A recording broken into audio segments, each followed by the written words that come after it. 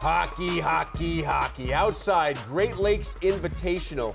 Michigan State and Michigan Tech playing in the early game. John Draeger fires from the blue line off Ryan Keller and in for a 2-1 Spartan lead. But Daniel Sova ties things up for Michigan Tech. Huskies make this a 2-2 game. We go to overtime, then we go to the shootout. Third round, nobody scored in the first two.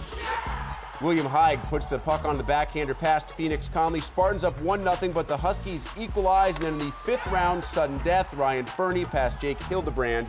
Michigan Tech 3 2 in the shootout.